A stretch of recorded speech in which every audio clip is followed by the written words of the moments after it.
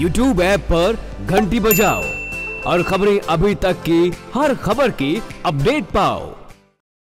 Iraq में मारे गए जिला कांगड़ा के तीन युवाओं के अवशेष आज भारत पहुँचेंगे, जो कि आज अमृतसर एयरपोर्ट पर उतारे जाएँगे और इन शवों को लाने के लिए जिला प्रशासन वहाँ मौजूद रहेगा। जबकि अमन के परिजन वहाँ नहीं गए हैं। अमन के परिजनों को सूचना दी गई थी कि आप वहाँ पर जा सकते हैं, लेकिन प्रशासन ने उन्हें खुद रोक दिया ताकि परिवार के लोगों को किसी भी समस्या को लेकर कोई दिक्कत ना हो। और इसीलिए परिवार के लोगों की निगाहें आज भी टकटकी लगाए बैठी हैं कि उनका बेटा वापस आएगा, लेकिन उनकी उम्मीद उस दिन टूट गई थी जिस दिन सुषमा स्वराज ने इस बात का ऐलान कर दिया था कि उनतालीस भारतीयों के मारे जाने की खबर की पुष्टि हो गई है। पूरी खबर क्या कुछ है और अभी परिवार की स्थिति क्या है, किस तरीके से नज़ारा है वहाँ पर और गाँव के साथ साथ क्षेत्र के लोगों में किस तरीके का मातम पसरा है? हमारे साथ हमारे संवाददाता मनोज धीमान फ़ोन लाइन पे जुड़ गए हैं।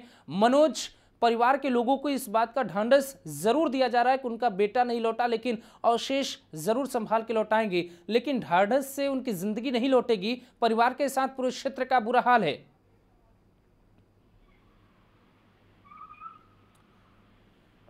लेकिन तीन साल तक तो केंद्र की सरकार पता नहीं क्या इंतज़ार करती रही और अब जो है, अंतिम समय में उनको जो है, उनके अवशेष यहाँ पर पहुँचाए जाने की बात कही जा रही है।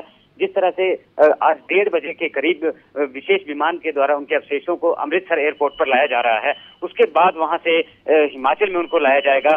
तो उसके बाद जो है उनका अंतिम संस्कार भी किया जाएगा। हालाँकि परिवार वालों की बात की जाए तो उन्हें सरकार से कोई भी ऐसी खास डिमांड नहीं है और वो कह रहे हैं कि उन्होंने उनको जो प्रशासन है वो भी सहायता दे रहा है और जो सरकार है वो भी मदद कर रही है।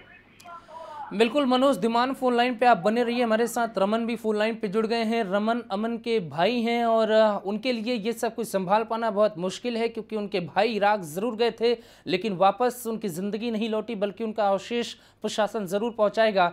रमन जी, बहुत बहुत स्वागत है आपका खबर अभी तक पे। परिवार पे बहुत बड़ा दुख पहुँचा है, लेकिन इस स्थिति से निकलने के लिए जिस तरीके से प्रशासन अभी मदद कर रहा है, अगर तीन साल पहले करता तो शायद आपके घर का एक चिराग बुझता नहीं। जी जी जी। रमन कुमार जी कुछ कहना चाहेंगे आप खबर अभी तक पर? आ, सर मैं तो ये कहना चाहता हूँ चलो मतलब अब मतलब इतना बड़ा मतलब जो हादसा हो गया हमारे साथ।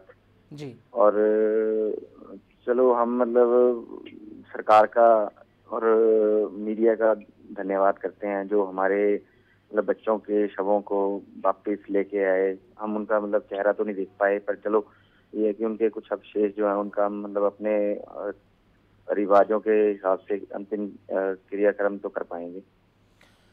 बिल्कुल रमन आप पुरुष होने के नाते अपने आप को संभाल सकते हैं लेकिन जो परिवार की महिलाएँ हैं उनको संभालना बहुत मुश्किल है। जिस बात की उम्मीद थी कि आपका भाई इराक गया है वहाँ से आप सबको खुशी भेजेगा। उस बात की उम्मीद जब टूटी तो बहुत दुख पहुँचा होगा। लेकिन क्या आपको लगता है कि सरकार की तरफ़ से एक भारी भरकम चूक हुई है? अगर चूक ना हुई होती तो शायद परिवार आज भी खुश होता। हाँ वो तो है ही। अगर मतलब उस टाइम थोड़े से एफर्ट ज़्यादा किए होते तो आज लगता कि भाई मेरा हमारे साथ होता। बिल्कुल रमन जी इस दुख की घड़ी में पूरा हिमाचल आपके साथ है। बहुत बहुत शुक्रिया खबर अभी तक से बातचीत करने के लिए। ये मृतक अमन के भाई थे जो खबर अभी तक से बातचीत कर रहे थे। पूरे खबर पर हमारे संवाददाता मनोज धीमान भी फ़ोन लाइन पे बने हैं। मनोज जिस तरीके से परिवार की आस बिल्कुल टूट चुकी है उसके बाद भी हिमाचल के लोग कितने आ, किस तरीके से अभी भी परिवार के लोग सरकार का शुक्रिया अदा कर रहे हैं कि सरकार ने कम से कम उनके परिवार के चिराग का अवशेष लौटाने में मदद की है। जी अभिषेक जहाँ तक अवशेष पहुँचाने की बात है, वो तो सरकार का कर्तव्य भी बनता है कि और पूरे कर्तव्य के साथ जो है, वो उनके अवशेषों को आज वापस ला रहे हैं और परिजनों के स्पुर्द भी उनको कर दिया जाएगा।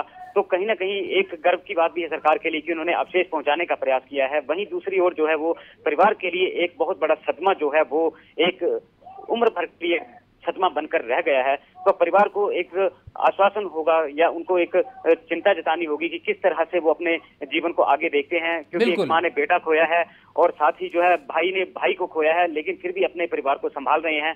आज अगर अमन ज़िंदा होते तो शायद उनकी घर में खुशियाँ रहती लेकिन उन्होंने एक दुख का समाचार जो है वो अपने परिजनों को दिया है जिसका सब अब वो खुद उनके साथ कल अंतिम जो संस्कार है उनका होना है। तो अब देखना है कि सरकार और प्रशासन किस तरह से इन जो व्यक्ति कल आ रहे हैं, इनको किस तरह से वो अंतिम विदाई देते हैं।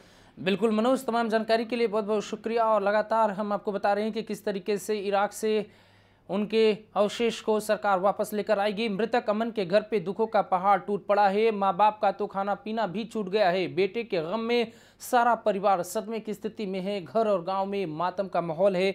कोई रो रहा है तो कोई अपने बेटे के इंतज़ार में है। उम्मीद है कि उनका अवशेष पहुंचेगा तो सब अपने आप को संभाल पाएँगे।